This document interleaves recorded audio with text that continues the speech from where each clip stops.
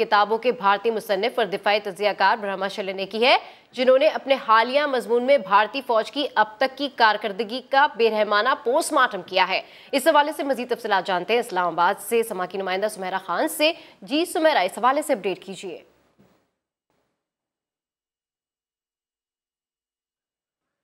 जी सुमेरा जी भारत से ही भारत के लोग जो हैं, अब वो अपनी फौज के लिए ये बात इस्तेमाल कर रहे हैं कि भारत की फौज दुनिया की महँगी तरीन, मगर निकम्मी तरीन फौज शायद साबित हो रही है। और इनके नाम में हाथ सुरमाओं पर भी तनकीद शुरू हो चुकी है। बजट भारी है, मगर कारकर्दगी सिफर है। और भारतीय मुसनफ जिनका आपने नाम लिया, उन्होंने पूरा पोल खोल दिया इस वक्त सामने कि भारत दिफाई अखराज के लिहाज से दुनिया का तीसरा बड़ा मुल्क है। मगर चीन या पाकिस्तान से टाकरा हो तो हमेशा भारतीय फौज ने मुँह की खाई है।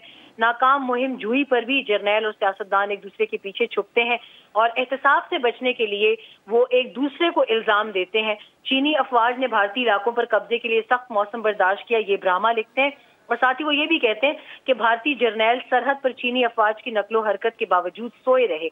एक और बहुत तल्ख बात उन्होंने की कि इस इतनी बड़ी नाकामी पर किसी एक अफसर को भी अहदे से नहीं हटाया गया और मोदी ने भी फौजी नाकामी पर दो साल से मुजरिमाना खामोशी इख्तियार कर रखी है। तो ये एक बहुत बड़ा एक जो शायद एहतसाब का अमल है जो शायद भारत में खुद भारतीय फौज के खिलाफ उनके तजिया बहुत शुक्रिया अपडेट करने के लिए।